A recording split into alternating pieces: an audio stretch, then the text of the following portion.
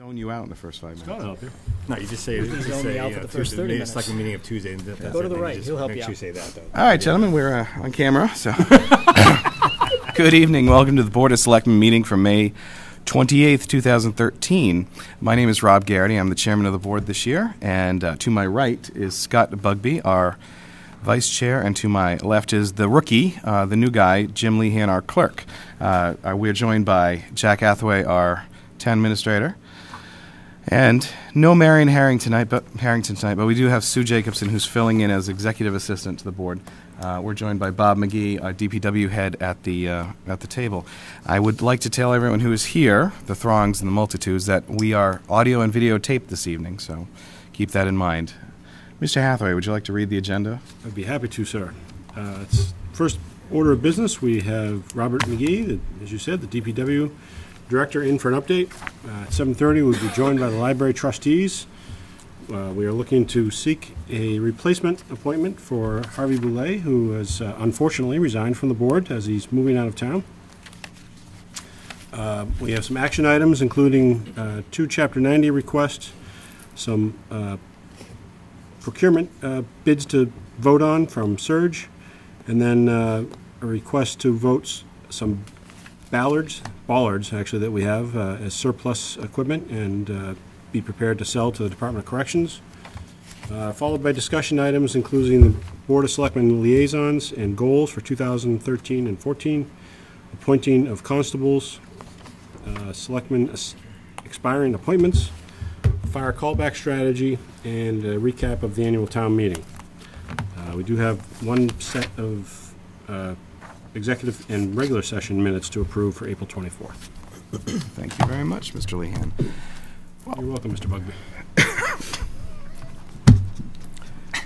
That cough syrup is good stuff. so we're joined by uh, Share that so we can all take the same trip? Shared by Mr. McGee, uh, joined by Mr. McGee, our DPW director. So what do you have for us tonight, Bob? Well, I have a, a list of things. I didn't know if there was anything specific uh, or anything more important than, uh, than another to talk about, but I, I'll just go down the line if you don't mind, and a couple of things I wouldn't mind bringing up, bring to your attention. I have a little uh, something to discuss with you. As you already know, uh, our paving schedule, construction schedule for this summer, uh, funded by Chapter 90. Um, I would like to advise you of our, our lawn care contract that we're extending one more year with a contractor that has been signed up for the last three years. Um, Little something about our water new source development, where we stand with that. Um, About our walkways in the center with the uh, proposal for cobbles. Um, Couple of bridge concerns that I have, um, I'll mention without going into long detail. Um, A grant that's out there that might interest you, Mr. Garrity, because it uh, involves, as a candidate, the Freeman Kennedy School in Boardman Street sidewalks program. Um, I brought along a municipal infrastructure report you're probably not familiar with, but I'll explain that once we get down there. A little bit about the truck exclusion, and one last item is regarding uh, right-of-way bonding for the subdivision Fern Ridge. Okay. Now, why don't you start with the top? Well, this year, um, just to, just to brief you really quickly, um, you know, coming out of the wintertime, what we normally do is, and I brought Tom Benedetti along, uh, because he's largely the guy that ramrods this thing, but coming out of the wintertime, we, um, we find ourselves, as soon as the weather breaks, cleaning up lawns, curbing, and potholes. You know, during the wintertime, we use a, a, a uh, cold patch mix, which is really a terrible thing that once you put it in, you got to take it out sooner or later, and the cost is doubled. So we try to put a hot mix in as we as we can. So, you know, and I was wondering if I could just ask Tom to come up just for a, a couple of minutes and run us through the Yeah, sure. the season up till now. Tom, if you Okay with you guys? could. Fine with me.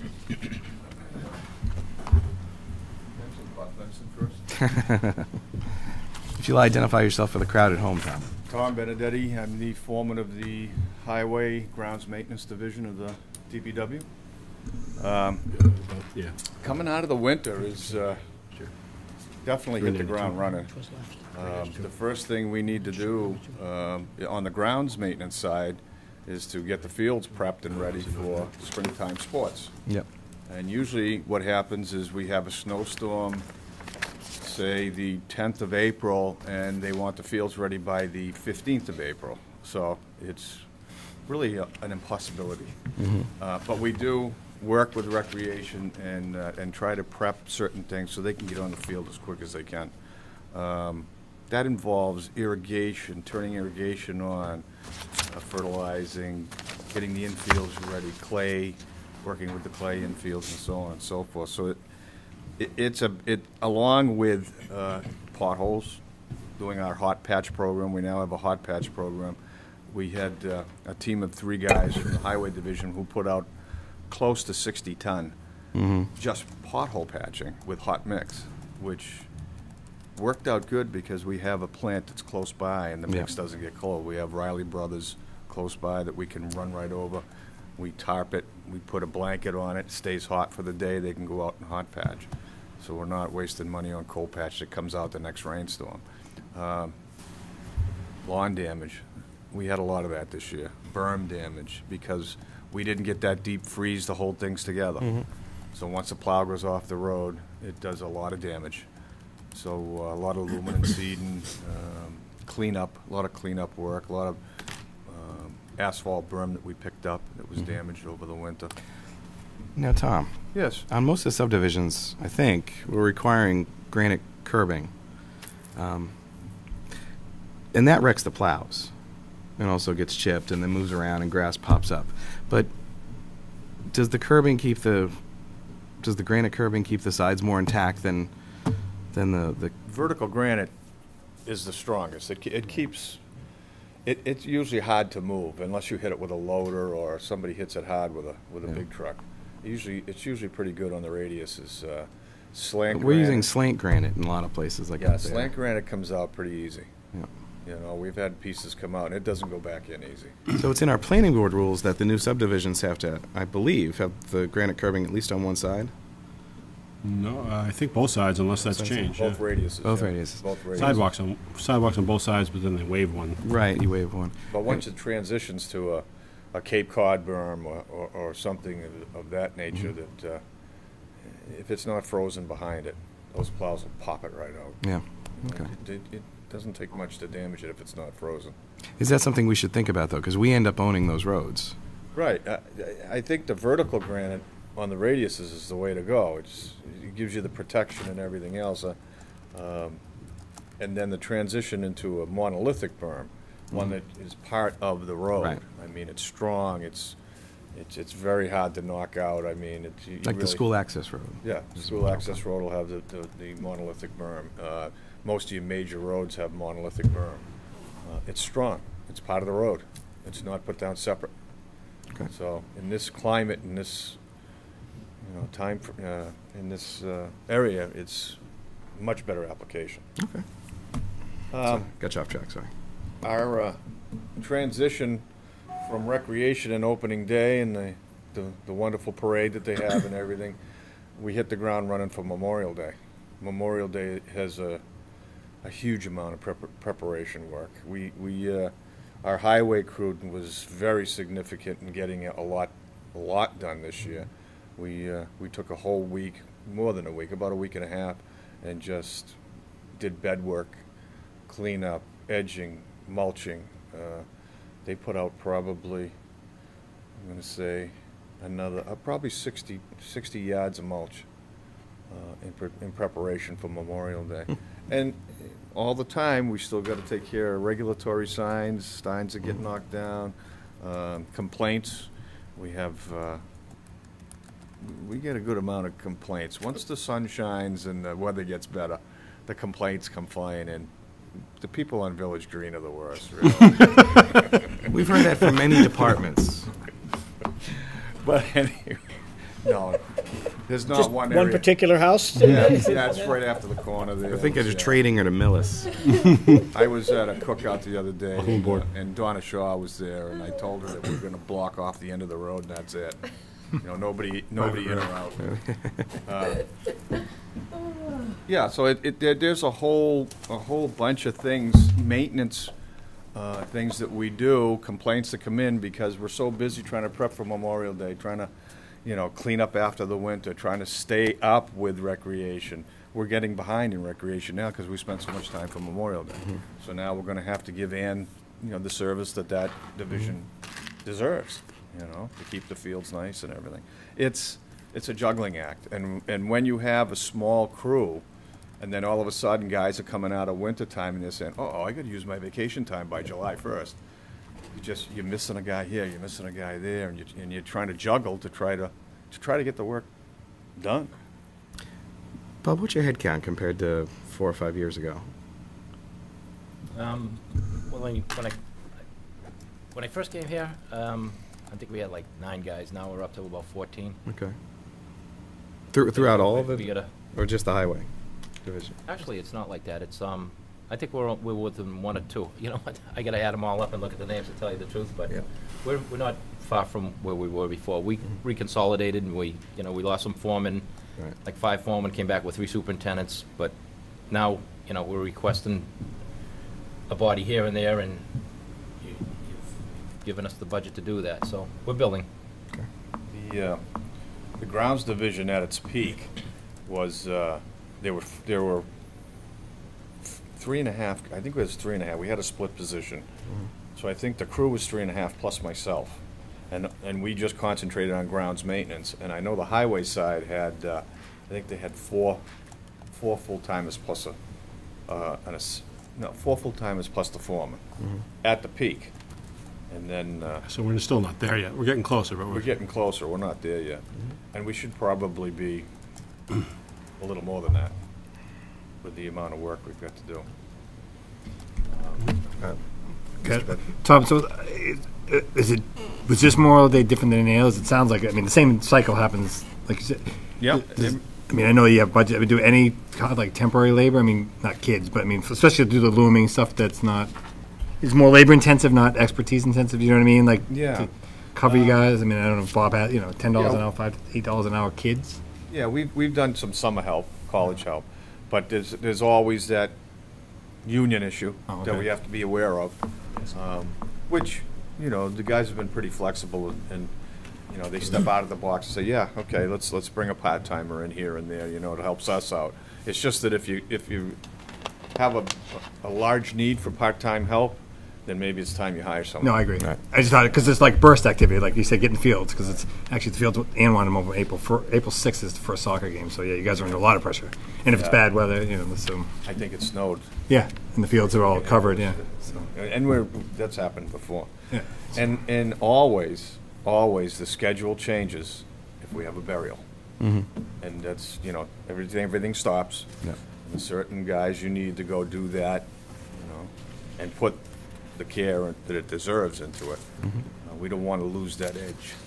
I've worked in cemeteries where it was, you know, park the truck two feet away from the burial and, you know, it's, Not we don't, no, yeah. no. We want to make sure this is, you know, The, the corner looks l- beautiful now. thank you. Ned, a lot of that was Bob. Great job there. Just a little disappointing the phlox didn't last till the, uh, the parade. Right. You know, It looked nice when it was, when It it was it really blooming. did. Uh, That, I mean, uh, again, we have so many designs around town from Lowell Robinson. Right. He- He's just amazing. Um, He's, he's got a big job right now that he's dealing with, but uh, he, he still has time to, you know, to draw for us and, and check on jobs. We just, uh, we just completed, we're, well, we're in the, uh, in the middle of completing that second phase of the Pondville Crypt in the uh, Pondville Cemetery. All the stonework is done, stone walls, the wing walls, that beautiful drawing Thank that uh, uh, Lowell did, and the steel door has been removed to be rebuilt. It's, it's really gonna all come together once all those pieces are, you know, put together. Lowell's been one of our best-kept secrets in town for years. He's um, a- an older gentleman that has been a mainstay of helping us in so many ways. He's a terrific guy and continues to is. do so, so we're very grateful. Uh, um, May I, Mr. Chairman? Sure. The, um, I- for Memorial Day, I thought the town looked terrific, as it always does. Thank you. Uh, y- Your crew does a wonderful job in maintaining it. And it is the crew, they work hard. Yep, I know they do. And um, just just one question on recreation. Um, and how many? You may not know precisely, but how many of our fields are irrigated? Uh, Pond Street i- is all irrigated. There's And that's 20 on and that's on well. That's on a well. That's, that's, uh, 26 zones, I think. Okay. And uh, we take care of that, a lot of it in-house. We, we have help from Norfolk Irrigation to fire it up. And because we're so busy in the spring, I can't go through every zone now. So they run through the zones and then I kind of monitor it. And the- so the only expense for irrigation would be electrical? Yes. There is That's no it. other? Same thing with the Town Hill. Right. No, I know Town Hill's on, on, on well. So, but just, I'm asking because there was a discussion regarding costs associated with some of the issues that Recreation was dealing with, and the irrigation component came up as a point of discussion, and I, I think there was a, a misunderstanding in, in the cost, because my understanding is they're all on well. Any irrigation's on well that the town operates, and the only cost should be electrical, and that would be minimal. Yeah, the maintenance cost would be electrical, you know, running the, Yep. running the pump and everything. The, uh, the other cost is firing it up in the springtime. Well, but that, that's a maintenance. one-time. Yeah. Yeah, and, and closing it down, winterize- right. Winterizing, yeah. It's a one-time cost, Yeah. okay. As long as there's no major problem like, uh, you know, the to the clock goes or gets hit by lightning, we've had that Yeah. happen. Yeah. I mean, that can, that can run into some money. Uh, I had a problem with, uh, with the uh, pressure reducing system there this year. I had to have it replumbed. I mean, but it's not astronomical. Yeah. It's part of maintenance. Yep, good, okay, Are thank they, you. um, are they all on a rain sensor, so if it's Yes. raining, they don't come on? Yes. Great. All right, anything else for us? Uh, Not really. Uh, The only other things we add to our schedule are our projects, and Bob's going to talk to you about the walkways, and we have some stone walls being built right now, and... uh, we have- Long-suffering Seekonk Street is about to have some work done on it. Yeah. Yeah, both the uh, railroad crossings are going to get it this weekend, Yep. so that's a pretty good-sized project, you know, that's coming together. Thanks to Bob. All right. Well, thank you very much. Tom. You're welcome, thank Sure you. the- Nice to see you, thanks. Nice to see you. Thank your crew know again much for, uh, we appreciate for it. their work this last weekend, please. Say one thing. I'll let the guys know. Yeah. Yes, Mr. Affleck. Uh, Tom, just I want to, and the library trustees are here too, so I hope they've noticed too. I know you've spent a lot of time with your crew over at the library, um, something we haven't been able to do for several years, so wanted to thank you for doing that. Um, It looks great. Um, And then the other thing, just before, I know the s- trustees are here for 7:30. I just, I know Bob's got a long list of things, but um, I want to make sure we vote the Chapter 90 things while he's here um, and provide him the opportunity to answer any questions that you might have. Uh, um, I know Jim was having a question about the balances left in Chapter 90. I I don't know if you have that with you. I do. The carryover, I know there was a couple of hundred thousand, I think, in there for carryover, wasn't there, Bob? Yeah, um, Jim, it's much more like four hundred and fifty thousand dollars. How much? Four hundred and fifty thousand dollars. But does that include this year's? No, it doesn't.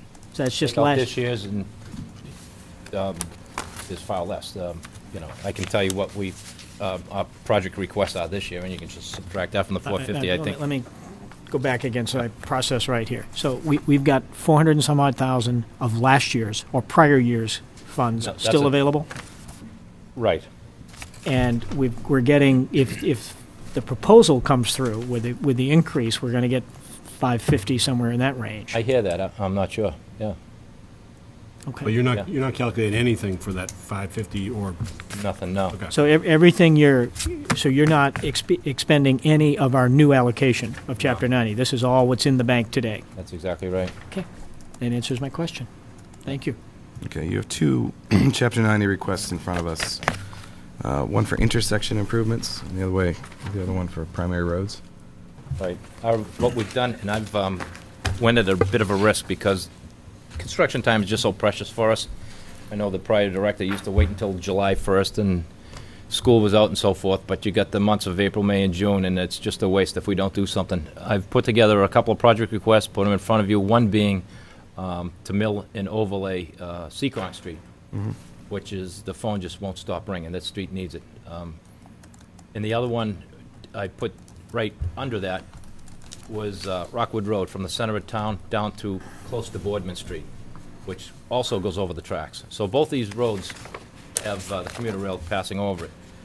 So what we did was, before we have um, the project, and these are going to get paid out of that- those paving jobs. Right. So the um, jobs that we're doing over the tracks are kind of like the first phase of this construction, because the tracks are uh, governed by the Mass Bay Commuter Rail, and there was a cost savings doing just the tracks this weekend, 20 feet each side of it, because they will come out in cooperation with us, and they're going to do the digging, and we're going to have a night crew there to pave it in. Right. It's going to require uh, detours and, and so forth, but, you know, there's four, 12 divisions of the Mass Bay Commuter Rail, and we got the four divisions that were supposed to get together. And all that coordination happened, and uh, we finalized it today. We had the chief of police out there. We had just a great participation getting this project together. It's going to be painful Friday night into Saturday morning, and Saturday night into Sunday morning, but between the hours of 10 and 6 a.m. Both nights. Then the railroad tracks are done. From there, hopefully the project request will be in, and then I can pay these people. That would be good. Yeah, that'd be nice.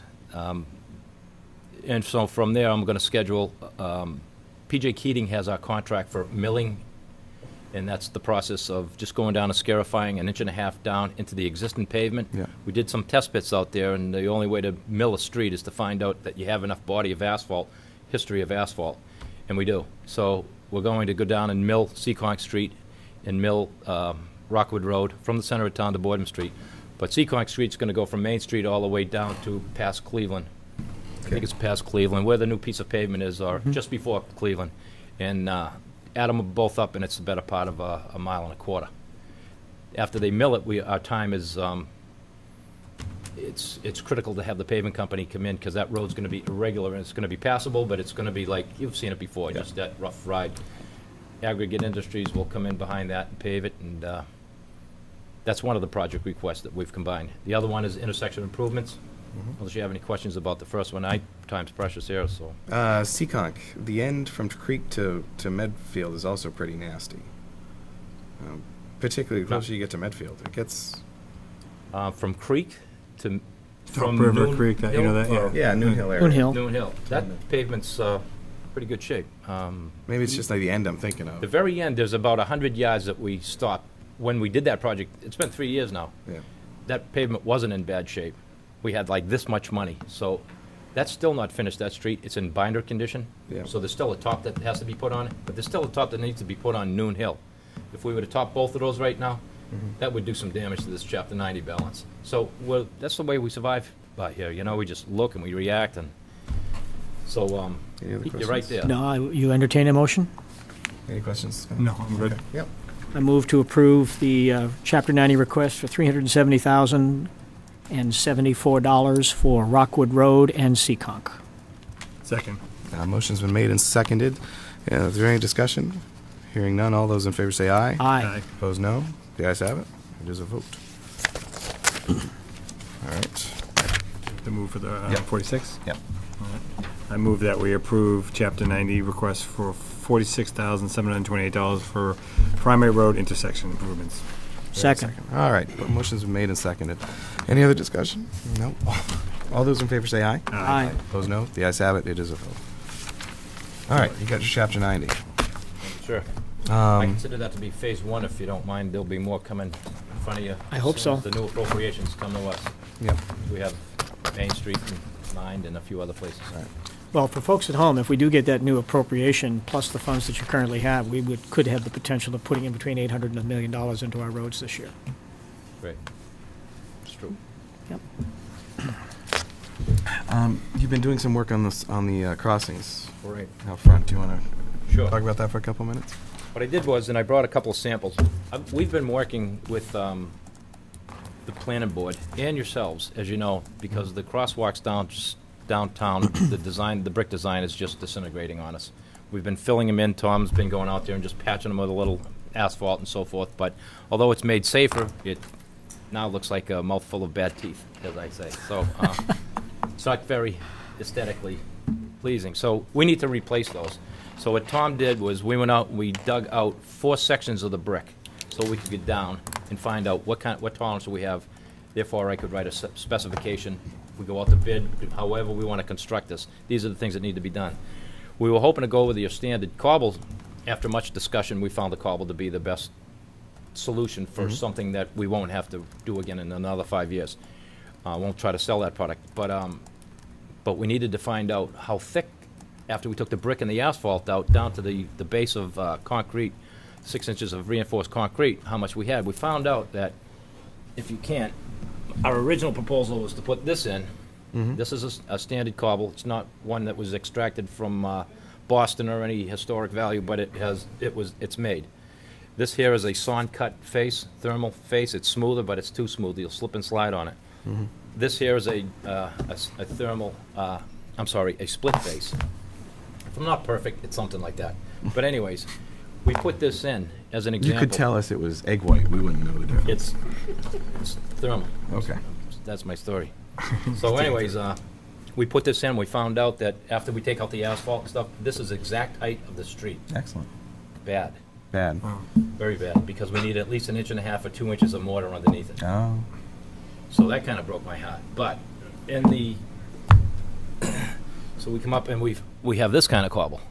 Any thinner and I'd be worried, but this is three inches by five and a half by, by five and a half. So you get a little tolerance for a joint. If it was six by six, four of these would equal a square foot and so Yeah. forth. These are a little bit cheaper, they're thinner. It gives me now that inch and a half. Okay. And unless uh, you have some questions or some doubts about it, this is going to be the baby, I think. How long do you Just, think does it have the lasts? tolerance, I'm sorry, Yeah, Scott. go ahead. I think you're asking the same question. Does it have the tolerance for heavy, heavy trucks? It does. I mean, if this was any bigger, Jim, I, it would, it could just crack. Bend and break, yeah. And then we'd have to look at that. But it's gonna be pretty tough to do this. You know, the joints might crack up a little bit, but that's inside the joints. Mm-hmm. So mm-hmm. if you remember in our budget, you gave us ten thousand dollars a Right. year last Yep. year to run around and do all these m- repairs. So if we have to, every three or five years, go out and repoint these things like any brick building, beautiful. Okay. Salt's gonna do some damage, not to this, but to the joint. And if it does. It would we'll- do that anyway, no matter what you put in. yeah, we'll get out there and sandblast it a little bit, we'll get it down to where it's good again, and we'll come back and have a professional join it, so forth. Go for So it. that's it. Uh, one question on the the circles. Yep. The brick is flat to the road, Right. and it shouldn't be. It needs to pr- provide a tactile sensation so people don't drive over it. Um, are you thinking of bringing it up at all?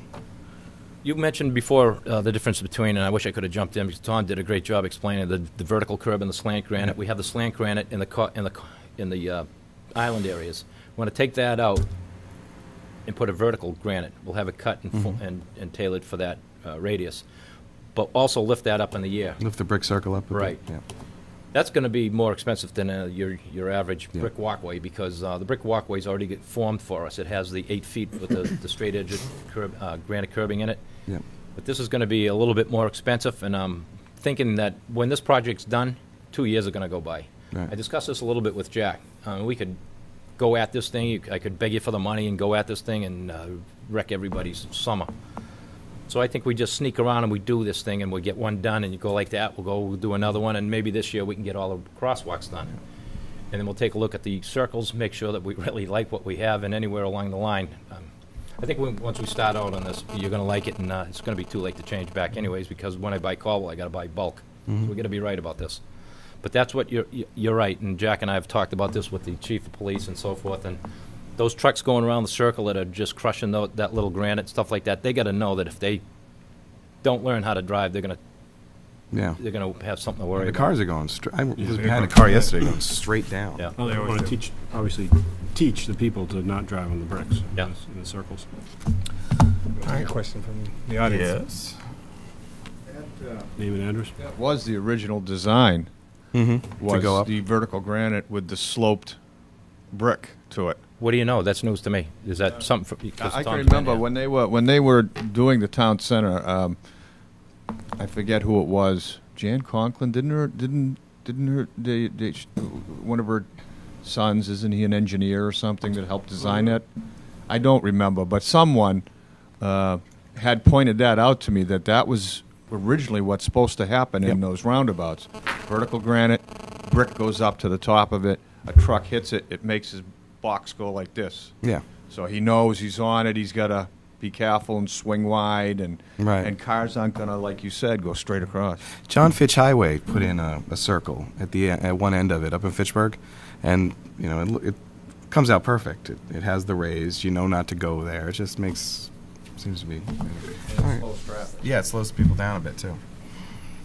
Yeah, I mean, we used to have discussions with Butch about it when, before they went in, and I think collectively, we had scaled it, scaled it down a little bit, because we didn't want to have people flip, flipping over in the center of town either. I mean, just- or causing too many flat, you know, flat tires. slower if they Yeah, could afford- uh, exactly. It's a Um, painful lesson. Knowing that you, you have a schedule to meet, I'm going to buzz through these other ones. Okay. With, uh, and I'm going to talk about them in detail only if you ask. Okay. Um, we have uh, a new school in town. With that comes a new property and a new. You got to figure out how to cut the grasses there and stuff like that. And it's still not fully developed. Not much It- grass there right now. There's a lot of grass there.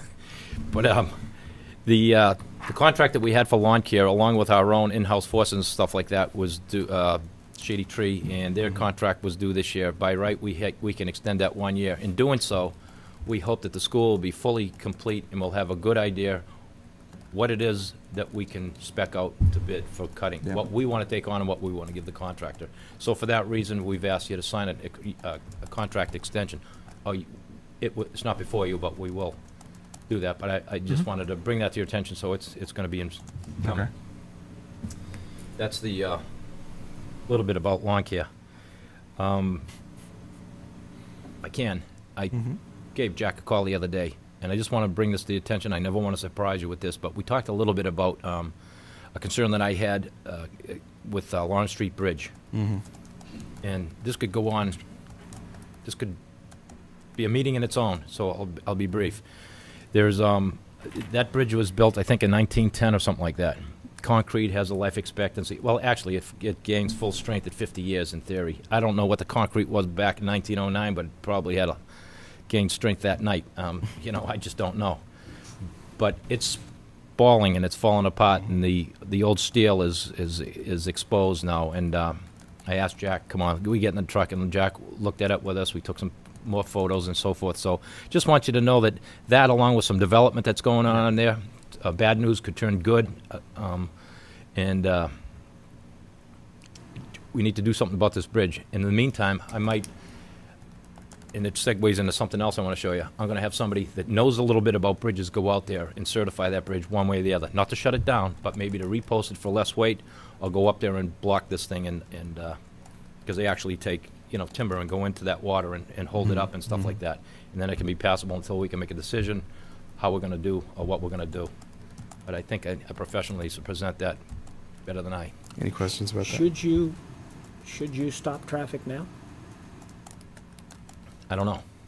I mean, it sounds to me like something we should know pretty quick. Uh, I mean, i- if there's a risk, we, we all know what happened recently on a bridge. Um, Yeah. I mean, if, if there's any risk to anyone driving over that, uh, as much as we'll get yelled at and you'll get all the letters and phone calls about the inconveniences associated with it, i- if you need to do that, you know, structural engineer tells you this thing is just not safe Right. you know, two seaters only or something like that, because you can post this, it's just my guess, but you can post this, it won't matter. You know, pe- people will, if they're there, they'll go over it, irrelevant of what the posting says. And that would be my concern, that, that somebody would get hurt here. And, I don't think we're at that point, Jim. okay, well, I don't know, that's why I'm asking. I've asking been on the the question. bridges so often and stuff like that, even though I don't, who, who really knows? And you can get an expert out there, probably going to know less than me. Other than he's going to find the, That's encouraging, how are you, uh, what are you going to do, x-ray it? I- How can you Right. tell, you know? I know. So how many bridges? I don't know what the, the how the Tobin Bridge is doing, but it looks kind of shaky too. But this will choke off a neighborhood, and I don't think we're at that point right now. But I tell you what, I won't waste any time getting um, Okay. the We just don't want out anybody there hurt, to. That's all. I know you, you would on it. feel the same, I mean, Yep. I just, And that segues into water supply, right? It does, and uh, I was in, as part of another thing I was going to talk about is that um, I've, I've talked about this before. We're looking for new source development. We cited a few places, um, but the most promising one, and we're working work with a developer that has a proposal in front of the planning board to develop off of Lawrence Street, that section of land at the better known as the Man Buckley Man. Buckley Mann property, and uh, I don't want to steal his thunder or anything, uh, how far he's got with the presentation, but he's got a nice layout for uh, some growth up there. And at the same time, I think, if I'm right, if we can, if the planning board can approve a, uh, is it open space cluster development, then there'll be enough room for us to, to uh, sink a couple well sites. In the meantime, you've given us permission to access that land, and within the next couple of weeks, we're going to go out there and drill. We have some reports from before where it was promising, but this time we're going to go out with a four-inch instead of a two-inch. We're going to really test this. how far, how far away from the, um, part that's not in good shape? Oh, um, I'm not sure, the what? Capped. The, the contamination. Yeah. it's some- Contaminated area. Oh, um, it's been all certified, I I think there was, there was a brownfield out there. And it's been uphill, certified with the isn't DEP, DEP, right. It's uphill, and we're Okay, far enough away. I mean, So. right. Okay. That'd be good That's- news. Yeah, that, yeah, it would be. It's, nothing's, happens quickly, so I beg your patience on that. That'll come around. Another, we were looking at the Campbell Park is a place, we have a piece of property there right off 115. It's under the jurisdiction of the conservation. We'll go reach in that direction. And then there's a couple of other places. We're looking down by the airport and so forth, and our new superintendent's got a good handle on this, and, um, so I'll keep you updated on that. Okay. Um, That's it for uh, new source development.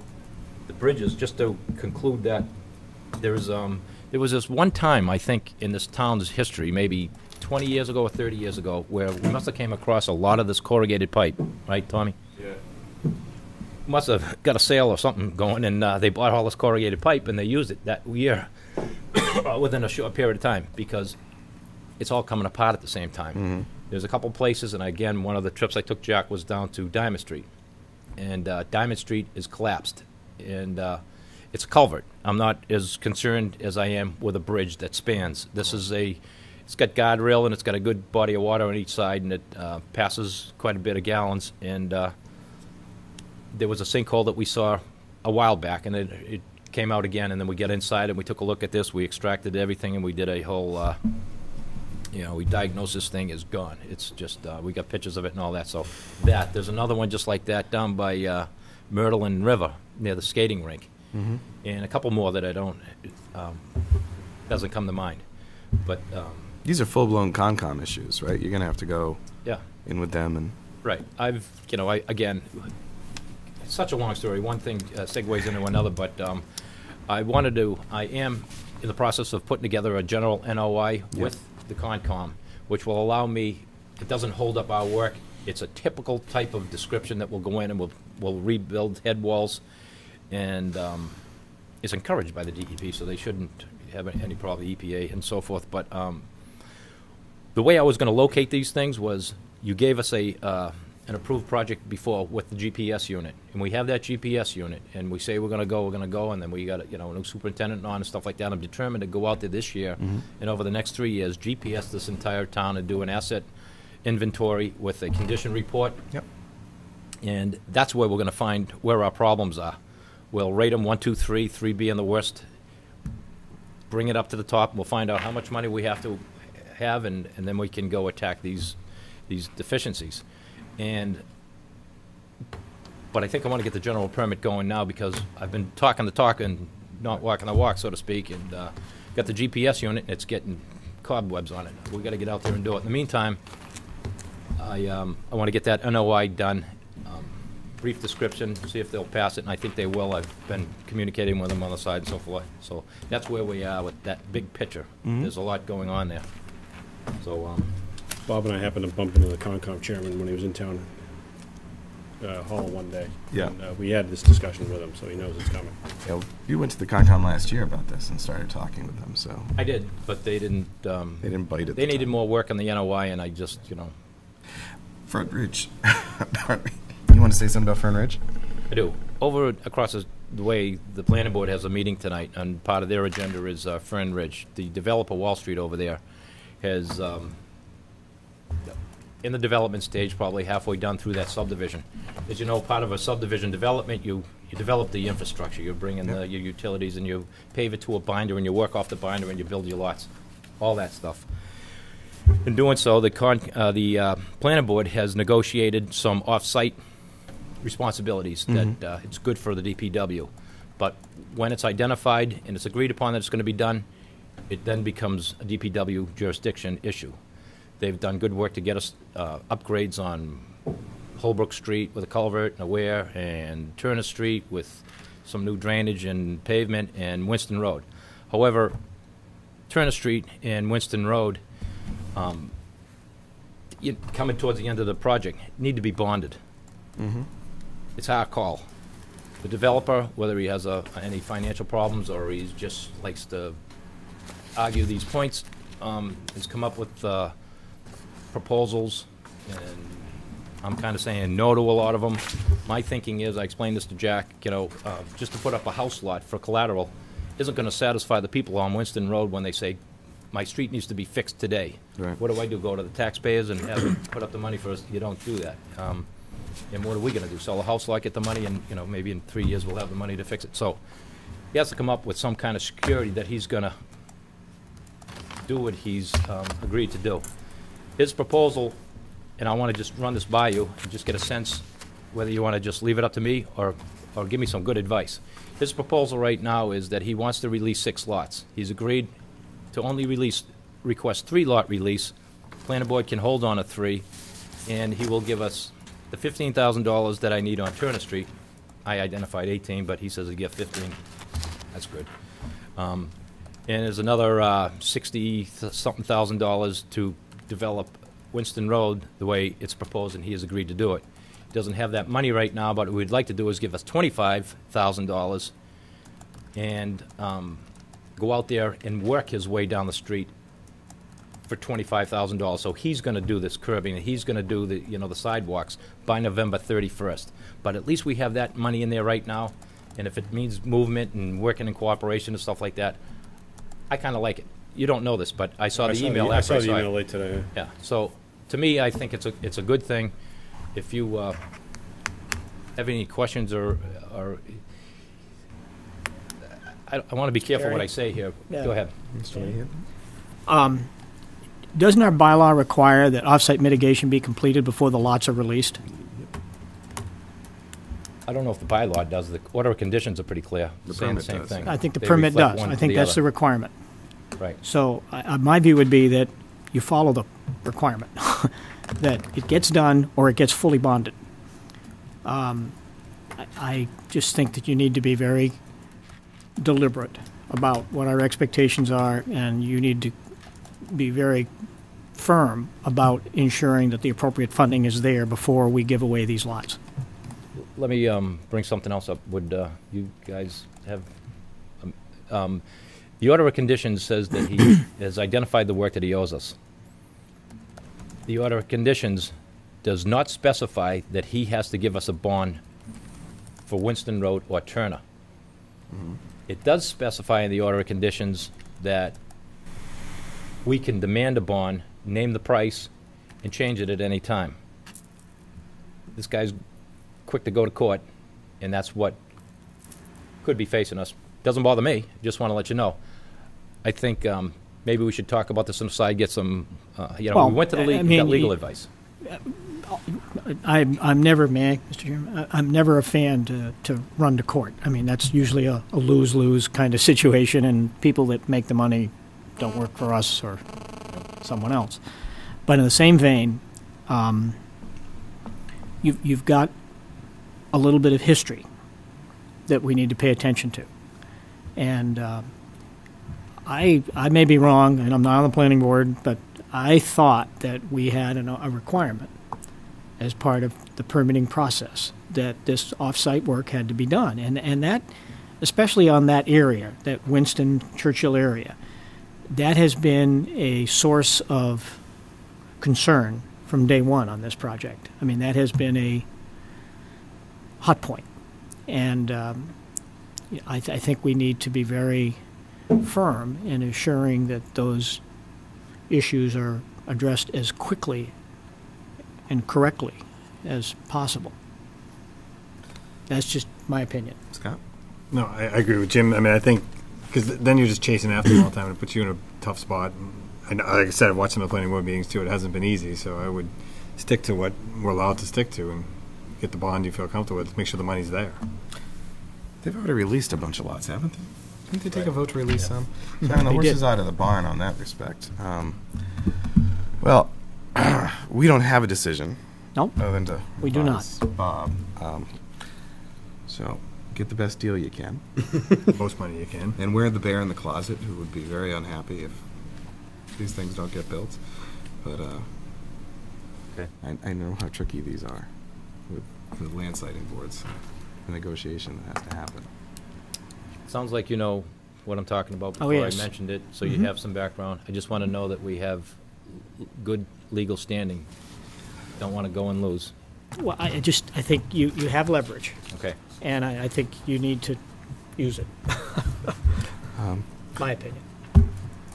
So I hate to, you know, and I don't want to make a mistake in like a five-minute rush, Yeah. too. So uh, let's talk about this again as this thing goes on. We can always, if we end, if we end this meeting, we can always go over and join the planning board. Yeah. Listen to the fun. Good. Well, I- I Rosen, mean- people are waiting, so I'll, That- That's a nice comment, but I, you know, we, we have to stay arm's length, and, you know, our input is to Bob. And, um, stay arm's length from another board. Did you have anything else? Uh, Just quickly, we have uh, made an, in- uh, a a free investment into the uh, Norfolk County engineers to do some survey work out on Lake Street. Right. And I just wanted to real quickly let you know that uh, nobody's forgotten Lake Street. It's taken this long. It started in the wintertime, and because there is not much foundation, that's a uh, baseline foundation, it's kind of like a figure of speech, for them to go on, so they had to go out to Main Street, they had to come into our archives. They had to go into the backyards and find um, house points and bring them to the street. So finally, we've got it, we've got it done. This is a smaller version. Thank you very much, Jack. You can see. And there are no huge surprises there. Um, Just one on No. the corner. Just, yeah, there's um, some layout challenges, but uh, for the most part, I'd say 90%. That road's fitting nice in there the way it is right now. What I'd like to do is go out. Um, We promised the people for a meeting. I thought it might might be a good idea to bring them into a one more time, B- instead of being out in the dirt road and leaning over the hood of a car, and uh, who's going to be able to really see it and stuff like that. And That's a good um, idea. If it Mr. requires, Your you know, turn. Do we have a gavel in the closet? I have one upstairs. no, we could do this with a quorum, or we could do this um, No, I, I my think, office with one of you guys, or two of you, you know? Let's uh, let's schedule them in. yeah, I mean, it's been public to this process. Why, Okay. why change? Um, okay. Just one quick thing. Uh, Fox Ra- Fox Run. Have you seen their sign on Park Street? All big trucks, please go down Maple Street. They're directing their construction traffic off Warren. I think it's Warren. Warren's the one on on. Did you see this? It's a hand spray painted sign. Yeah, I just saw it myself. Yeah, they're sending construction traffic down down. From Wrentham, Yeah. Wrentham paved, I don't know the name of that street, but Wrentham paved. and- and- Whatever street that is. I mean, they rebuilt the street and they got the base on it, so they're, they're telling people to use the Maple Street entrance for truck traffic, but they have their own main entrance right there on. Yes, Street. they Why didn't do. Oh, Go there. Exactly. So, oh, okay. I, when did this, this must have It's happened been up for recently. about a week or two. I saw it for That the was first a time this week ago. weekend. I didn't yeah. see it. I saw it too. It's way- It's on the Wrentham end. You have to be coming from. It's just a Wrentham. spray painted sign on a piece of plywood. Right on it. Yeah. I know you want to talk truck exclusion. Can we talk that another day? Sure. Okay. The library commissioners are getting antsy. One, one last quick thing. I'm going to be asking you to take a look into consideration in the future. This is called the Mass Municipal, I mean, this is called a uh, Municipal Infrastructure Report. Mm-hmm. It was um, done for another town. Mm-hmm. I'd like to do one for this town. How much? I don't know.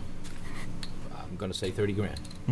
But this is going to, um, this is a report that's going to tell us about our infrastructure beyond what I've, um, when I'm talking, I'm just talking about survey and doing a rating and stuff like that. This is a, uh, an engineer's intelligent report with uh, a, a description of all our assets and, uh, another time when you, when we, when you have some interest and more time and stuff like that, I'd like to describe to you. I think I might have mentioned to you briefly stuff, but it's almost like you can't live with it. Good You gotta- project for a planner. Uh, You just took the words out of my mouth. Um, You know, one of the things a planner is going to need is as much data Yep. about what our capabilities are in all regards. And, um, you know, hopefully, we're going to get that planner on by the January 1st with a little bit of luck. Um, That's a project I think that would be well-suited to begin. This is really good stuff. I'm sure a Thank you for good time. planner would recommend it. Bob, you, you briefly said, uh, I- and I told me today, the school initiated a thinking, Mr. process for a sidewalk, There is my. a grant on, potentially on Boardman Street. Uh, So that's, uh, There's a Safe Routes to School grant out there. Yes. And um, Uh, no, they're across the hallway, ma'am. Yeah. planning board? Planning board's down the hall.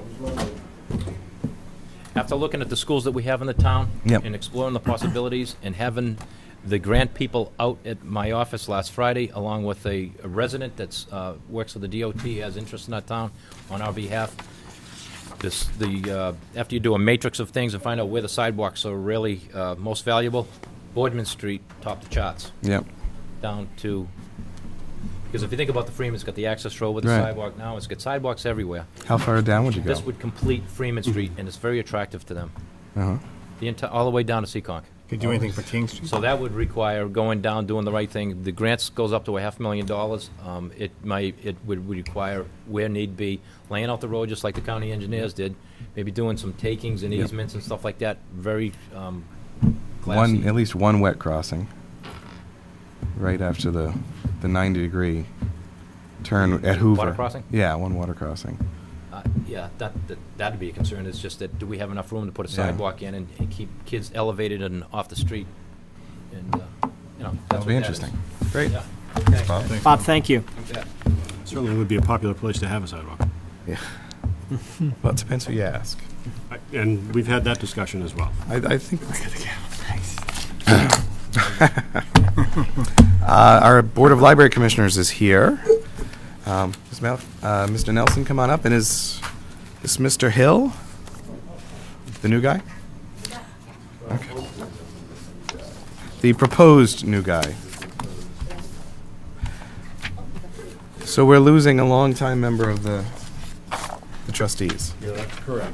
Uh, Harvey you doing? Boulay Look good. uh, submitted his resignation, uh, I believe, last week.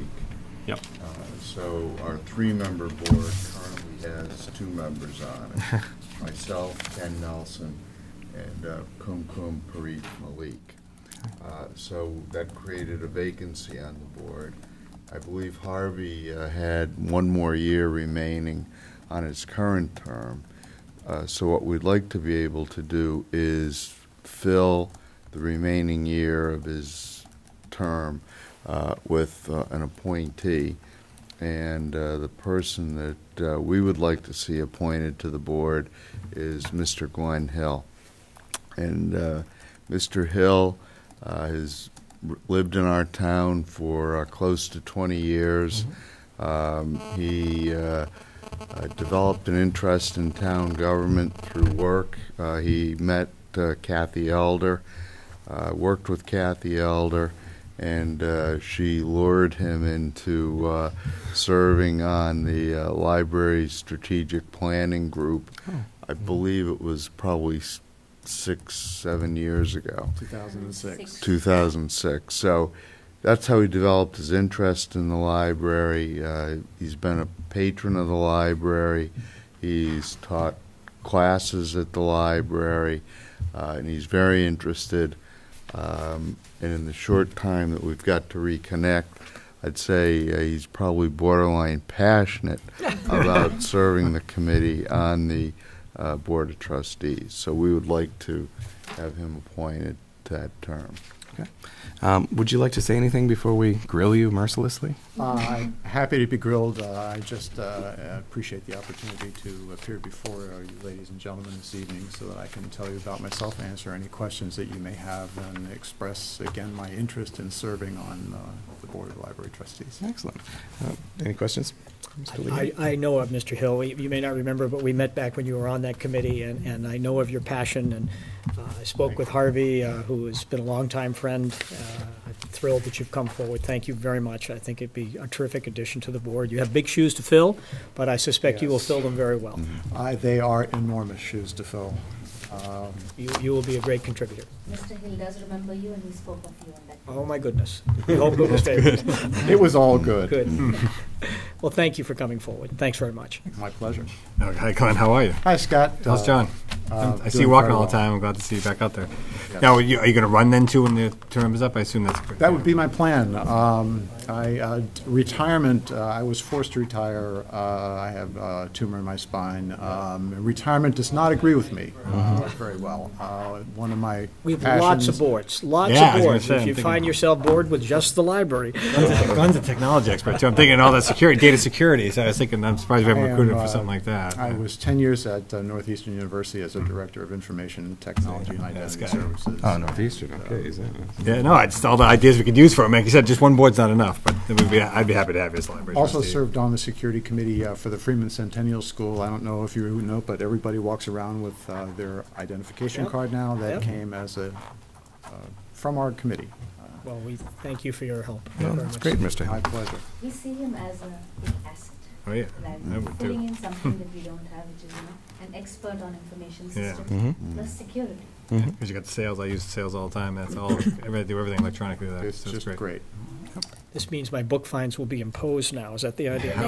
Yeah, we're, we're going, we're going after you, Jim, so. We use influence. I always bring my nickel, I pay it, I can't stand to even see a nickel in my account, I was, she's like, Oh, no, I- right away. I'm like, Jim, "It's bet I I'm the got worst you. offender on the board. I I'll just- know, I'm you're not the worst offender on the board. board. I know that. I sit in no judgment.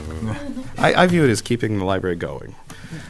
Because extra fine. So I don't have a question, Mr. Hill, other than, are you involved in healthcare? Because apparently that's a prerequisite for being on the, the committee, but, um, or you're both in healthcare. It was a minor joke, a very small one, which didn't go over very well. I didn't know what he meant, I didn't know where you're going with that, Rob. So- As a customer, Rob, of healthcare, uh, I have had uh, plenty of He's on the other side, he's Yeah. the receiving end. Well, that, that's Mr. about. Garrity is heavily medicated. heavily this evening, medicated so- this evening.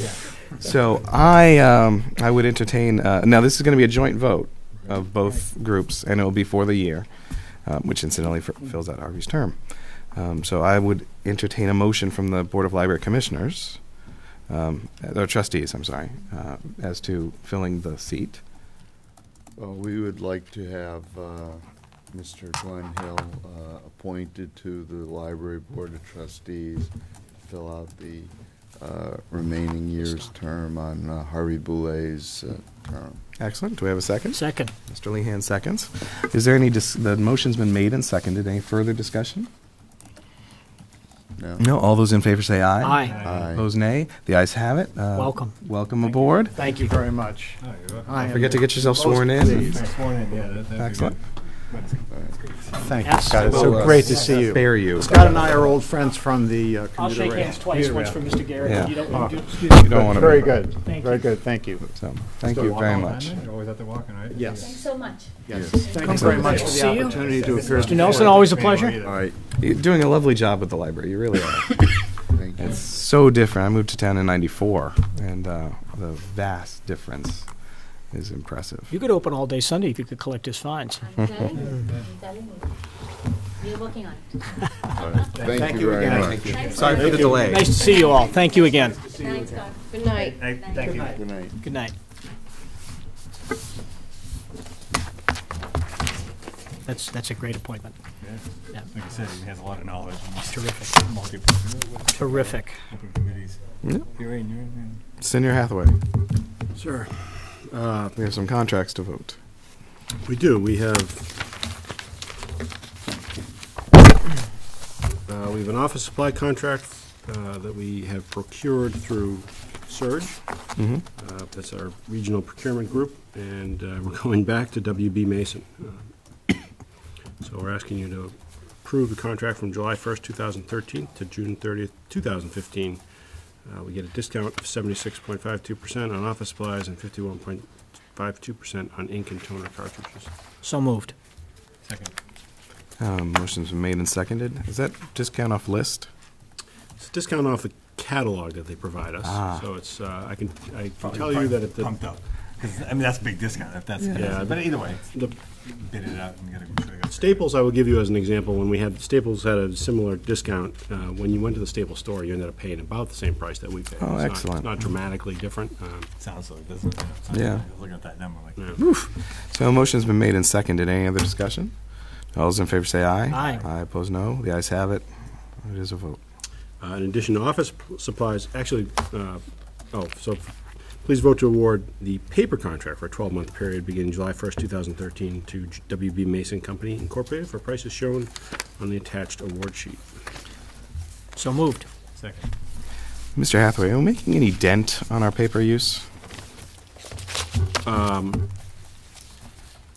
don't have those facts in front of me, Mr. uh, Garrity. Um, The Got to energy be committee cheaper for this board. Yeah, it's, well, Everything is electronic here now. well, he's outsourced the paper expense for this board. It's tough. It's- We're all printing from home now. Um, it's just something interesting to think, uh, that I'd be That's good. I interested in can seeing. get you some, uh, the stats that I have off the copy machines. and uh, printers. All right, uh, motion has been made and seconded. Any other discussion necessary? No, all those in favor say aye. Aye. Opposed, no. The ayes have it, and it is a vote. Uh, Please vote to award the DPW supplies to vendors listed on the attached sheet for a 12-month period commencing 7/1/2013. Second? Uh, any other discussion? Any questions? Comparable with last year's contract, Jack? They are very comparable. Okay. Motion's been made and seconded. All those in favor say aye. Aye. Opposed, no. The ayes have it.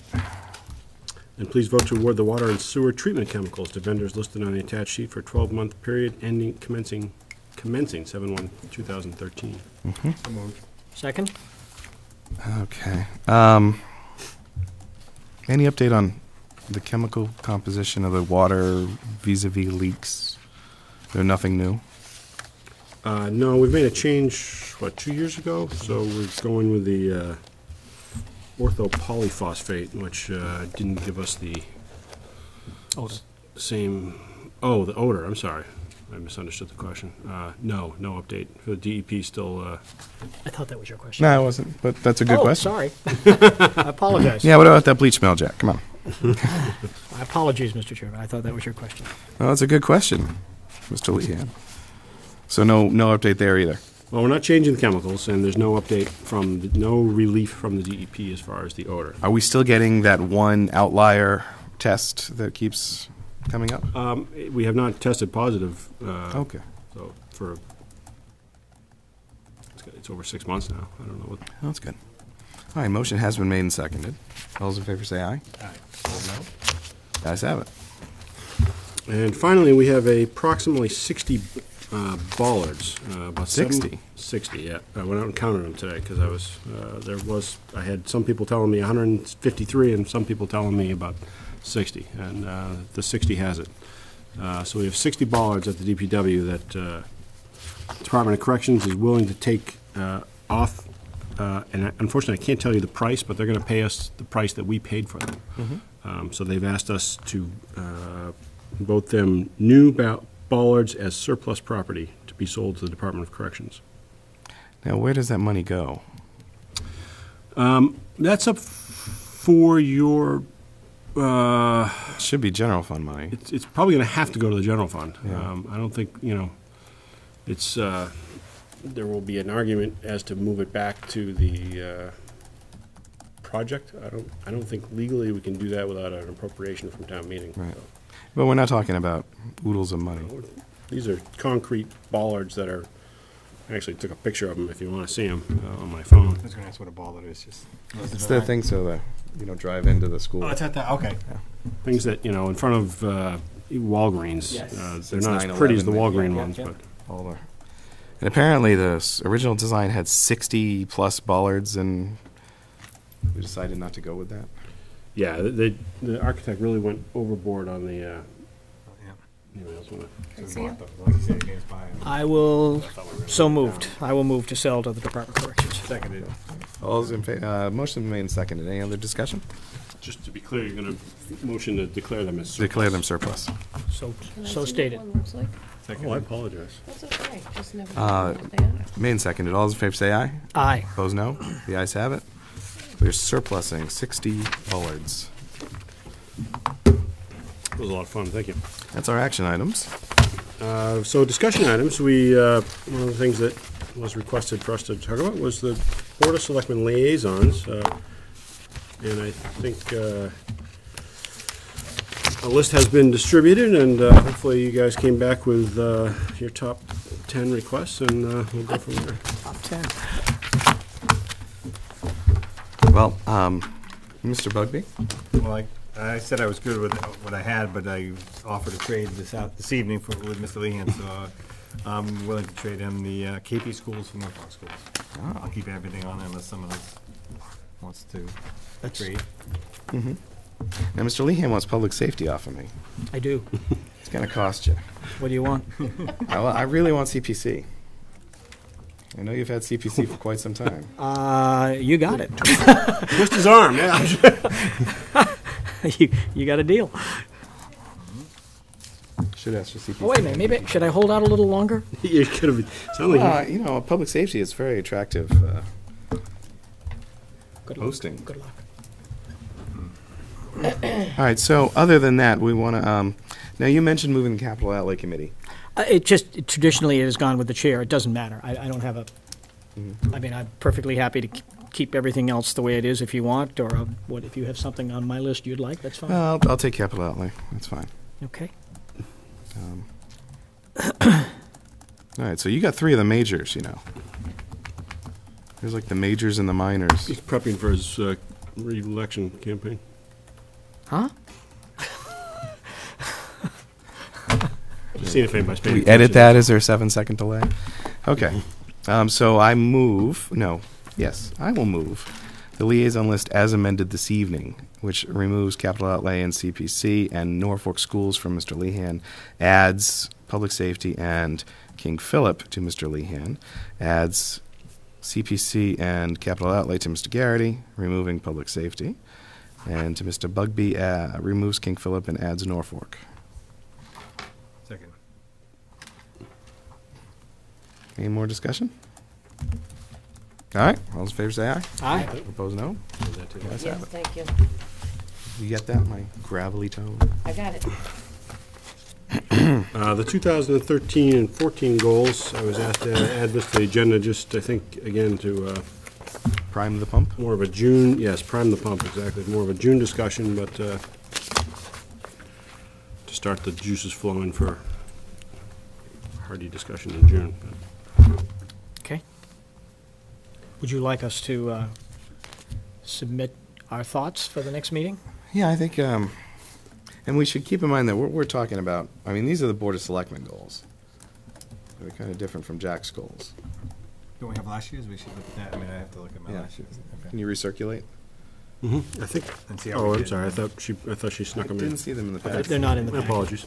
I have them. That's all right, just send them out. I have, but I got, I got them anyway. So these are the writ large goals. Yeah, no, we had, last- I'm just curious to see where, how we're tracking on what we, you know, 'cause when we had, you know, downhill, town hall. Well, we, we settled town hall. Yeah, there we go.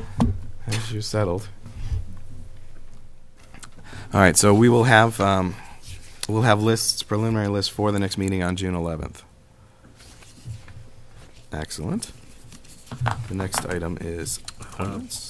We had a request from uh, a gentleman, Mr. Fallon, who ran for uh, constable, um, to be appointed as a, as a constable. There is provision in general law that allows the selectmen to appoint uh, constables as necessary.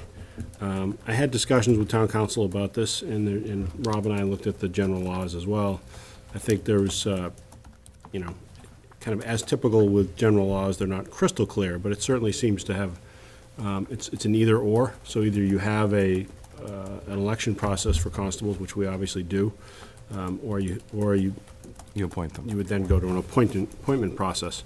And short of there being some critical need for us to have uh, a- an an increased number of uh, constables, uh, town counsel felt that we really should, um, the spirit of the, of the general law seemed to be that it should be neither or, and and we should, unless we're going to change from the elected, we should stick with the elected uh, constables that we have in place, because I would be hard pressed to argue that we, that we, two is not enough for us uh, these days. Mr. Lehan? Jim?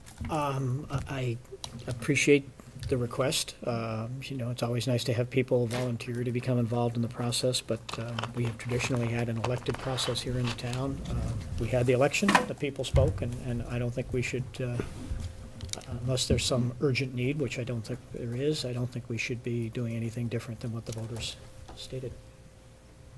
Yeah, I would stick with, you know, the either or, and it's, again, it goes against what we've had in the past. And I don't, if a need came up, obviously, we could revisit this at any time anyway, so I don't think we put ourselves in a spot. And I think it, um, the either or, to me, is pretty clear. Yeah, I thought the statute was pretty clear. We were gonna, you either elect them or you appoint them, period. So, um, And it would be hard to say no to the next person that came out wanting to be appointed as well. You know, if we made an appointment now, we have three, then someone else says, I'd like to be appointed as well, on either side. And I- even if the statute weren't clear, I think there's a, a component of past practice that has to be part of the consideration in this too. And- And, and we've, we've always elected that position.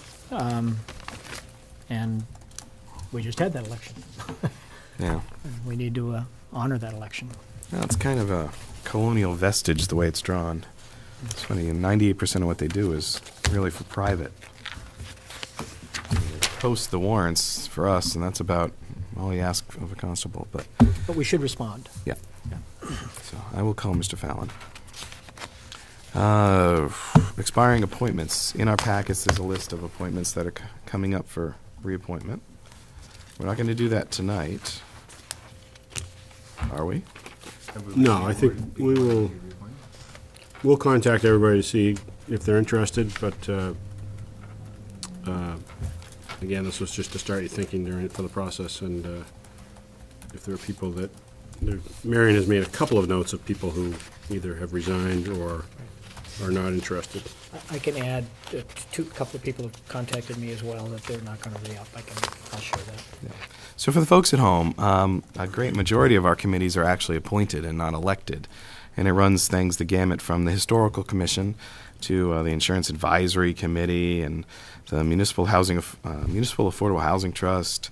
These are all appointments of the board of selectmen, and um, we uh, they're staggered terms, usually a three-year term for most of these positions. And uh, there's two or three people up from most of the boards. So if you have a hankering to serve the community, this is a great way to start. You just come into us and say, I'd like to do this, and most likely you'll get on because we have a dearth of people sometimes. So, We do, and people can, con- if you can, if you don't want to contact selectmen directly, certainly can call Marion or myself in my office. yep. Um, for the Board of Registrars, we will need to send a letter to the, the appropriate town committees, the two political committees, and ask for their three recommendations, I believe it is. Okay. Anything else on that, gentlemen? Nope. No, Moving on. I forwarded you, and I have a couple of copies if you need it, if you want to look at it. Um, I wasn't going to go into the detail, um, but the fire chief sent out a, Susan would like a copy. Sue, sir. Sue would Minutes, really please. like a copy. Thanks, Mr. Hathaway. Thank you. not sure she's going to work out. Does she work for you?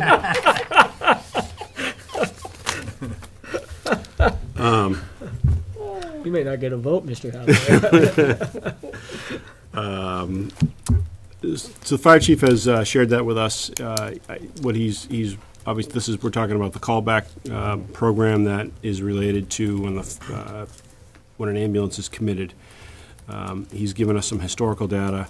Um, He's, he's obviously reviewed that um, thoroughly and, uh, and believes that, uh, he- bottom line is he'd like to come in and talk to us. And I think uh, I'll uh, try and schedule him in at one of our uh, upcoming June meetings and uh, he can share his uh, insights on, uh, now that he's had a little more information to look at and uh, what he's seen.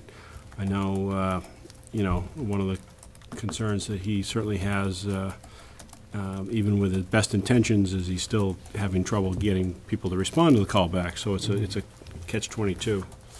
Um, So, uh, bottom line is, I think we'd like to have Cole come in at one of our June meetings, just to give us an update on that program, and, uh, and as we had discussed with him at one point, to talk about 2014 and, and trying to carry this program forward, because I know that you, I, myself, and you all had uh, some, some- know it's an important project.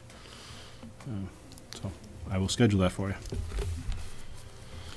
Anything, any either of you would like to add? Okay. Excellent. Final item on the agenda for discussion items was just, uh, um, I think the annual town meeting recap, and there may be different things coming out of, I mean, I think we want to talk about, maybe- we may want to have some discussion about town meeting in general.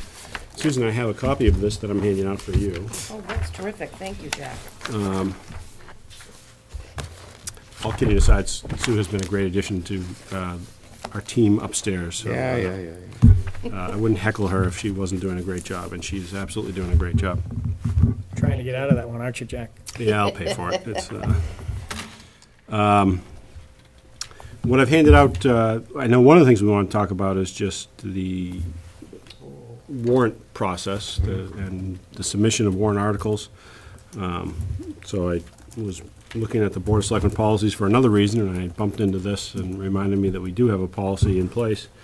Um, So, um, if we will, uh, we need to set a deadline and, and stick to it, and, and we need to convince uh, people to uh, stick to it. And uh, one of the things I know Rob and I had a discussion about was just uh, um, whether or not we want to kind of go back to the old, our old process of having zoning articles in the fall and, and, I guess that's the limit, is, is putting zoning articles in the fall and, and trying to do financial articles as much as possible in the spring.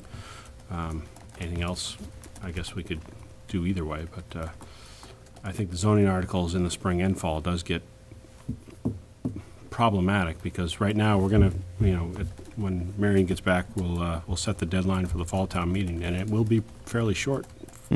It'll be in the months of July or August that the articles will be due, and um, now that, now that zoning just did a whole bunch of articles, they probably don't want to get together and do them again. Right.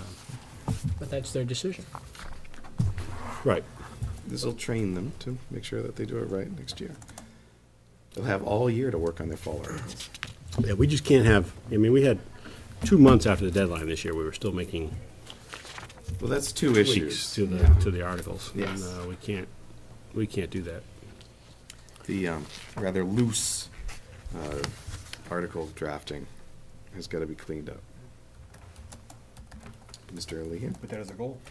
Well, um, I I too spent some time talking with Jack, thinking through how town meeting went, and, um, you know, it's no one's fault. I mean, you know, so this isn't meant to reflect any, I mean, we're all volunteers and all, and our time is precious in many respects, uh, and people donate a lot of time to, to try and help work their way through.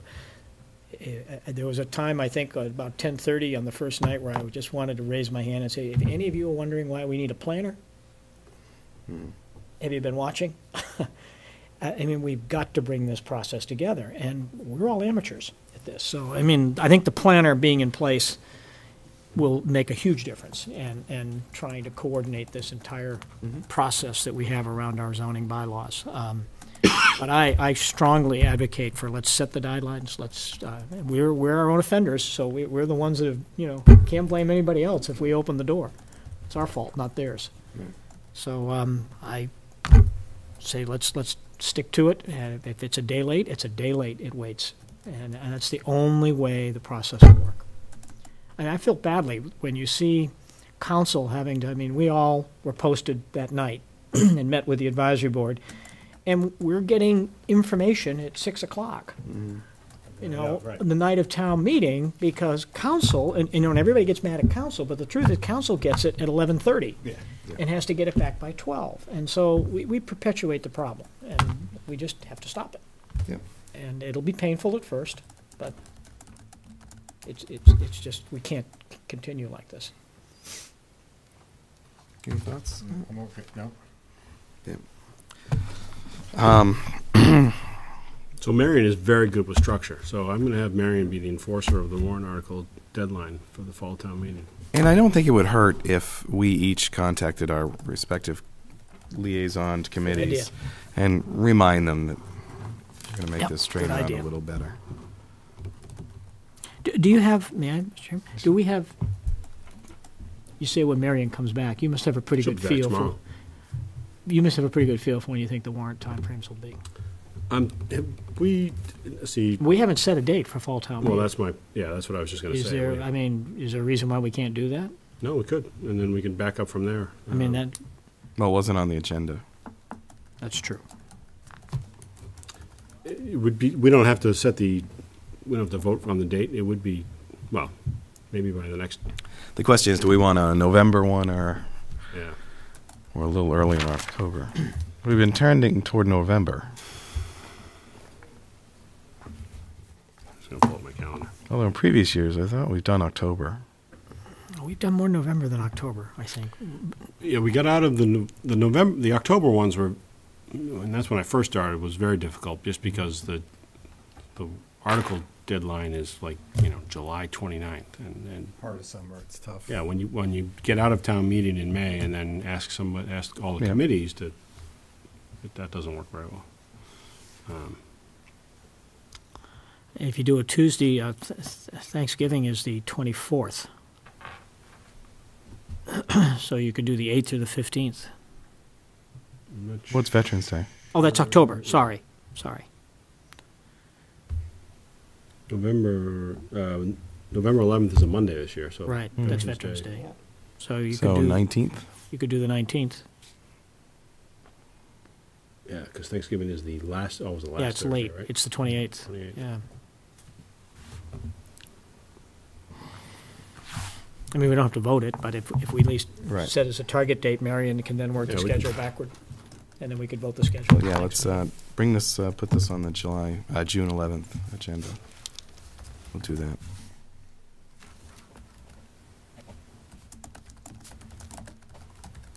Uh, It could be worse, guys. Uh, Framingham, on night 10 of their town meeting, uh, adopted stretch code. But Framingham's an RTM. It's a representative town meeting, so you know these folks know what they're getting into.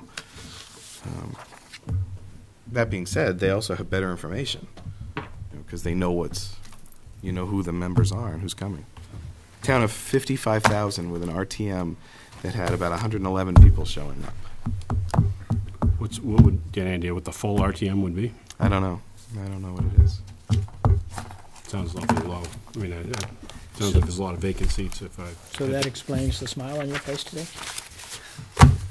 Yeah, so we shouldn't No, I feel too was- bad about two nights? I was at, yeah, right. I'd love to live in a town 11 nights of town meeting. Woohoo! Gets me out of the house. Here, Sue, I have something for you. Uh, Thank you. Just, this is just for, I showed it to Rob today, but it's just uh, something I pulled off uh, the MMA website today, which talks about town meetings and how many there are and how many are representative versus uh, open. And uh, when the earliest one was and the latest, the latest one was scheduled for June 24th out in Monroe. So, Rob, if you're interested, you can go to town meetings almost every night of the week. I missed. I'm. I'm sad that I missed Deluxeberry. So I have a friend who's a selectman in Whately. I think you pronounce it, and it's a western town. They do their town election after their town meeting, and they do it for a couple of reasons. One, you know, One's obvious. yeah, you you get a bunch of rookies at your town meeting, Yeah. Possibly, which and, It had and nothing to do with what's on that warrant. Right. I, you, you know, you think about a selectman in his final year. He works all year to get the budget up, and then he's sitting in the crowd when they actually Mm-hmm. Possible. debate it. Yep. Um, but the other reason is if you're going to end up with a Prop two and a half override, you don't have to do a special election True. because you'll just do that on your regular town election. So I think it makes some sense to think about. Um, Yeah, the only, the only challenge with that, and and it can be overcome, is that you, you gotta have, you either have to be very, to have, to, the, what your last point there about the having the override, if it's gonna be after town meeting, you have to have Thirty days, right? thirty, I think it's thirty-five. but, um, May sixth. Right, so June it can be done, 15th. but it's, or you can have them closer and just, the selectmen would, f- and advi, finance committee would figure out a override, and it may or may not pass town meeting, then you may or may not have a useless uh, ballot question. Yeah.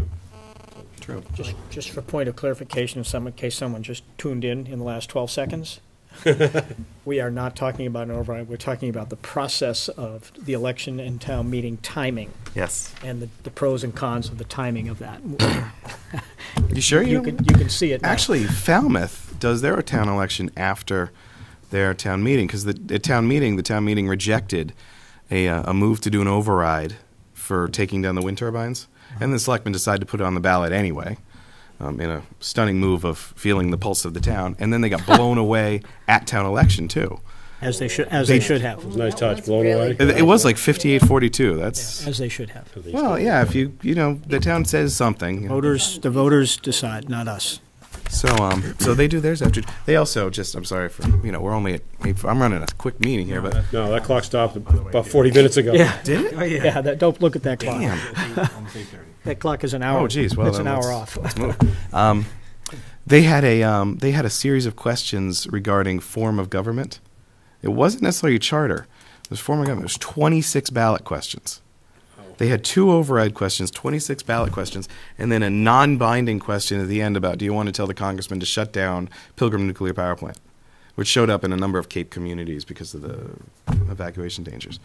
So uh, it I'm sure that'll go someplace. It was a two-page, you know, two to three Back, page. back on an old topic, if I may. Yep. Um, May I make a suggestion that um, Marion send out that policy regarding warrants and with an additional cover note that states that we will be establishing a very strict time frame mm-hmm. and that it will be strictly adhered to for the fall town meeting, and that she send it to all the chairs of the various boards that submit articles. And then we can follow up with phone calls, but. You should also CC all the selectmen on that strong policy. So Scott or I aren't booping in articles two days before. Try not to. I would include us in that distribution. That's a good thing. Be happy to do that. Executive order number two. All right, we have some minutes, unless we have more, any more debate? Leave those to Mr. discussion? Bugbee. Okay, His last last minute. official act as clerk. Well, I move to approve the minutes of April twenty-fourth, two thousand thirteen, both regular and executive session. Second.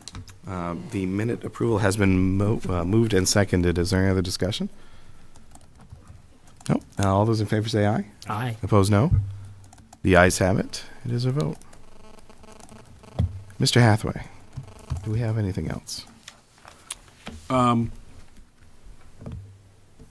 two very quick things. Um, I gave you at the beginning of the meeting a letter from uh, that Mr. Byron uh, dropped off today. A packet that is related to a meeting he went to with SWAP, um, the the Southwest Area Planning Group.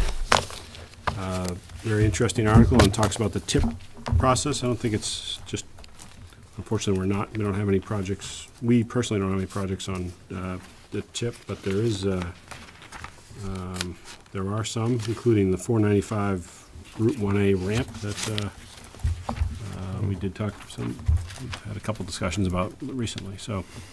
I have not had a chance to read this yet. Uh, I haven't, I read his cover letter, I didn't read through all of them. We were just talking about this today, weren't we? Yeah, and I actually just happened to flip through this, and I saw that 495, the, that slip ramp that they're gonna put, um, hopefully, um, get onto the tip project list, uh, pretty quick. Would you extend to, to Walter our appreciation? This is the first time I can remember we've ever had someone really actively engaged and report back on, on, uh, in this meeting, so thank him for us, if you approve. Uh, Certainly. As, as you wish, Mr. Lee. And, uh, in that, in that vein, I had, As you uh, suggest. sat with Mr. McFeely for uh, a period of time today, and uh, he gave me an update on the Norfolk County Advisory Board that he is, you know, appointed him to, and uh, um, he gave me a copy, well, he he emailed me a copy of their budget, um, which I have upstairs, and you're certainly more than welcome to have a copy of, or I can email to you if you want to see it. Um, he told me that basically they're they're on better footing. Um, their revenues are all up because a lot of their revenues are driven by activity that goes on at the uh, registry of deeds, and whether it's refinancing or, or home sales. So their their fees are up significantly, so they're doing better. Um, he asked a couple of things. Just uh, we had seen a letter four or five months ago from Brookline.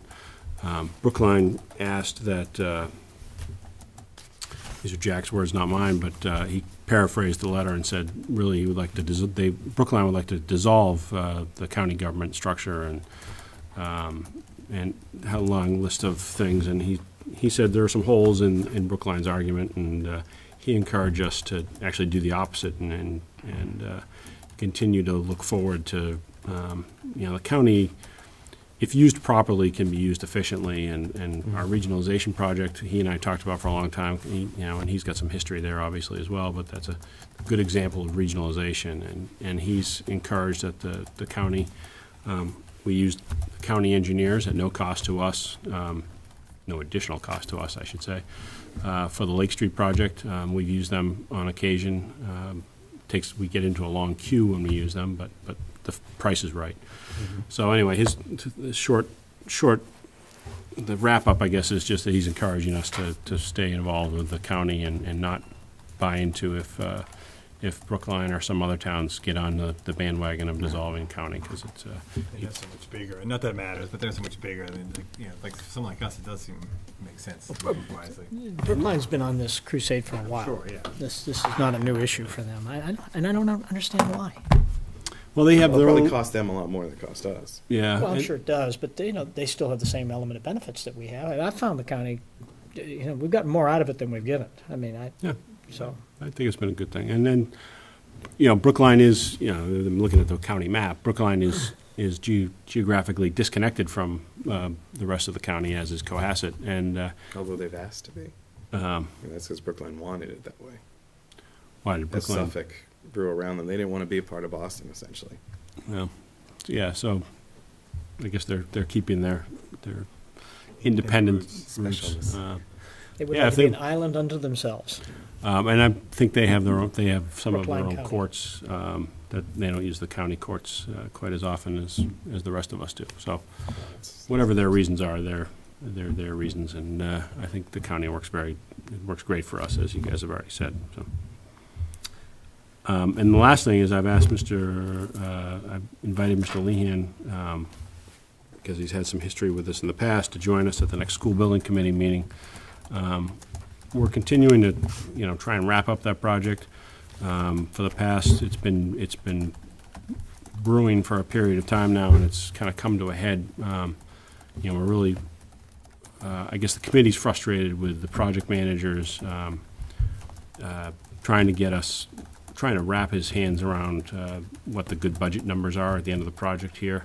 Um, and so we're, you know, and, and the, question that he is trying to resolve is the funding from the MSBA, and so when they, you know, when we send a payment in to be processed, they go through a, pro- you know, they either approve it or partially um, deny it, um, and then we go through a budget, you know, then there's, there's a, another process that the project manager is in charge of, where he goes through budget change orders uh, that have been approved by the committee, and those budget change orders have gotten backlogged, and you know, whether that's at the project manager or at the, or at the MSBA or some combination of the two, um, certainly has created a lot of bunch, budget tension for the committee, and we're, you know, we're trying to wrap this up. I know, I'm sure the citizens certainly want to see the Boardman Street side of the building be finished, you know, the, the fields get finished, and we, more than, um, you know, we certainly do too. So we're trying to wrap that up. Uh, right now, you know, I think in a, from what we're being told and, and the way we process the numbers too, you know, kind of a worst-case scenario where, where we're we're going to come in just under the wire, um, where we're, we've been working um, to try and come in significantly under the, under budget, and if the MSBA processes everything the way we think they should process it, and the project manager gets everything done the way we think he does, we think we'll still have a surplus at the end of the day, but um, I can't guarantee that until the project manager and the MSBA finish doing all the magic processing that they have to do. So um, Jim was involved in the project back when we kind of strong-armed the project manager and the architect a couple of years ago, and I asked him, uh, I was giving him an update one day and asked him to join us. Of course, I- we can Don't post need a to committee post and it, you can do whatever you want. Uh, Unless you do have a, I mean, I have an interest, but no, I don't need- think we, like I said, I think- is there any, there's no possibility of coming in over budget, right? Not, but no possibility, but, uh, yeah. Because we had these No, I, I, I- almost a million dollars. when we, when we've looked at, when we look at the budget numbers from them, no. Um, um, No, I- from my, from my understanding and looking at it and also looking at it with the school business office, no, I don't think we're gonna come in under budget. Um, And I, I can't envision a scenario where we would come in over budget. Um, One of the frustrating things, and I mentioned it to Jim, I think today, was just that, you know, one of the, the third part of the trifecta that we're frustrated with is the, is the general contractor, because we've got to finish some of the change, or, you know, we're, we're trying to, the discussion we had a year ago about the field space and whether there's a baseball field there, or we turn that just into a playground field, um, now they've got us kind of over a barrel as far as the, as the change orders go, because they're, the change order that we've asked for a price back on, um, which is a lot of deletions for a baseball field and then just putting in a field, field they're you would talking, think, the common man like me would think that that would, that's gonna save us money. Savings, yeah. And actually, it's come, they're coming back with a, you know, an increase or, or very minimal decreases. So we're, we're challenging that. You know, so now we have to go through, the we've asked the project manager to, you know, look at, give us all of our different options based on the money that we have left. Can we either just go back to the original contract and just finish up and get out of there? Do we do a, a change order and, you know, but somehow fight the general contractor and get a reasonable price? Or do we just stop and walk away, settle what we have to settle, and then rebid the remaining work? So those are the three options we're looking at right now, and it's, uh, um, I guess I'd just like to have, I'd invite Mr. Lehan in just to Heavy hand. have the weight of the board Yeah. come in and, and let them know we're serious about this. Our bear in the closet. Yes. Uh, any surplus funding is going to buy down the debt, right? Buy down the debt. Um, Provide tax relief for the hard put upon taxpayers in Norfolk. Have you fully obligated all the debt? uh, yeah, we have, we borrowed all the debt. Um, So then you would, but you would, you could reduce that debt. Well, the money, I'm, and I'm sorry to hesitate, I'm just thinking about what, I mean, I think um, any surplus in the project, um, you can either, town meeting can either vote to use it for a similar project, or um, I don't see why you couldn't vote to appropriate it into the, into the debt budget and therefore not have to um, have that money be part of the, the DE one or the, the debt exemption schedule next year, which, which is the, which is the impact on the tax rate. So, yeah, I'm sure if that's the will of the selectmen and the town meeting, we could get that money into relief of the tax rate. I may be wrong, but I think that you, I think, I think we're saying the same thing. I believe that, I, I agree, I think it needs a vote, but I believe that you can allocate that payment. Let, let's say you've got five hundred thousand dollars. You can direct that five hundred thousand, it has to be to reduce debt, but you can pick and choose what debt you want to reduce. I don't believe it has to, and, and, and the reason I say that is that we, we've got Yeah. debt at all different tiers. Yeah, mm-hmm. And so, you know, I mean, you, You do your highest interest rate first. well, e- even, even more so, timing and Yeah, things, a I lot mean, of there, different there are a things lot of things opposed that, to- that weigh in, sometimes paying, on- you know, you don't necessarily save money in some of the circumstances, but having the ability to have a, a chunk of money, whatever it is, Yep. and being able to then, and Julie's very good at this, and, in analyzing exactly how some of those bonds flow, Pointing to the right place. we, yeah. we want to get the best deal in terms of the most payback we can, and it's, so it might not be the school, might be, it might not be, that's my only point, is that, that I believe we have that flexibility, and we, we should take advantage of that. I know Julie will. Yeah. She's very good at that. Yeah, Yep. this is No, just right. one vote and one vote at town meeting, but I would much rather see fifty thousand dollars taken off the debt than buy another Oh, yeah. truck. Uh, here's two votes. no, no, I agree. The debt, I mean, it's, it's save money on a project that people vote for the tax. I, I- I think, I think we've been Not that we very, can't use very doggedly persistent about that. If there's a dime saved, it goes back to the taxpayer. Yeah. No, that's fine. In, in the I'm- form of reducing debt, Right. which reduces our obligation, which reduces the cost, and all of that goes back to the taxpayer. why not?